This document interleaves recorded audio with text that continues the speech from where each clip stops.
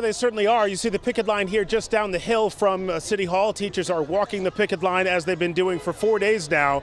And this is happening as the negotiating teams for both sides are bargaining inside City Hall. The morning after another night of negotiations failed to reach a deal on a new contract, Haverhill teachers are continuing to walk the picket line. Every morning we've been super hopeful, and every night we certainly have gone to bed sort of disappointed that we're not going to school the next day. So we're really hopeful right now. We're close. I'm glad that the bargaining team and the school committee are talking. This is day four of the strike, and the second day in which fines will be imposed on the local and statewide teachers' unions, following an order yesterday by Essex County Superior Court Judge James Lang.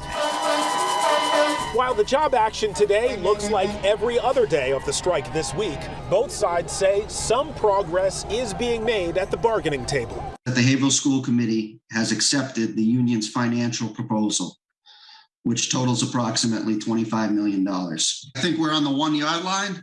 Uh, we're we're pretty pretty close to going into the end zone here. Still, until a deal is finalized and these 800 teachers are back in the classroom, parents and students are caught in the middle. I've been home a couple days this week. I've had, you know, been lucky enough that I'm able to work at home sometimes, but on the other days I've had to rely on family to help out. My husband had to take today off to, to watch the kids. Um, we just want the kids back in the classroom. They miss their teachers so much.